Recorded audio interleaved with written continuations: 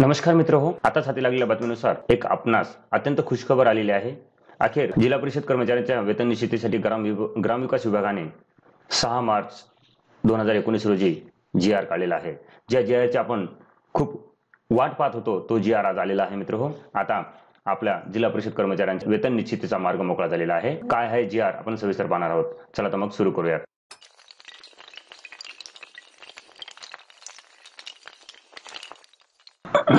जिल्हा परिषद सेवेतील उपसंवर्ग तीन वर्ग चार च्या कर्मचाऱ्यांना सुधारित वेतन संरचना लागू करण्याबाबतचा हा जी आर आहे. ग्रामविकास विभागाचा हा जी आर आहे.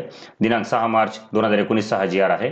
जी आरमध्ये काय म्हटलेलं आहे? फक्त स्पष्ट आणि हायलाइटेड लाईनच आपण पाहणार आहोत मोजकच. संपूर्ण जी आर वाचण्यापेक्षा जी आरमध्ये जो मथेदार आहे तोच पाहू आपण पाहूया. पहा दोन प्रस्तावनेमध्ये जी आरमध्ये काय लिहिलं आहे दोन हजार सोळा पासून सुधारित वेतन संरचना लागू करण्याबाबत अधिसूचित केलेले होते. आपण अधिसूचनेमध्ये पाहिलं अधिसू- अधिसूचित केलं होतं. वेतन निश्चितीबाबत व थकबाकी अदा करण्यासंदर्भात कार्यपद्धती विहित करण्यात आलेली होती. वेतन निश्चिती कशी करायची? त्या संदर्भातला जी आर आपण या अगोदर पाहिलेला आहे. आणि थकबाकी कशी अदा करायची? म्हणजे आपल्या जीपीएफमध्ये द्यायचं त्या संदर्भात पण आपण माहिती घेतलेली आहे. ते पाहिलं नसेल तर डिस्क्रिप्शनमध्ये माझे व्हिडिओ आहेत. त्याला क्लिक करून तुम्ही पाहू शकता. आणि राज्यातील या विभागाच्या अखत्यारीत येणाऱ्या जिल्हा परिषद मधील वर्ग तीन वर्ग चारच्या कर्मचाऱ्यांना सुधारित वेतन संरचना लागू करण्याची बाब शासनाच्या विचाराधीन होती. असा प्रस्तावनेमधल्या महत्त्वाच्या ओळी आहेत. आणि आता शासन निर्णयामध्ये काय सांगितलेलं आहे? दोन हजार एकोणीस मधील सुधारित वेतन संरचना वेतन निश्चिती नियम तसेच संदर्भ क्रमांक चार अन्वये वेतन निश्चिती व थकबाकी अदा करण्यासंदर्भात निर्गमित करण्यात आलेल्या सूचना सोबतच्या जोरपत्रातील जिल्हा परिषदामधील कर्मचाऱ्यांना योग्य त्या फेरफारासह लागू करण्यात येत आहेत.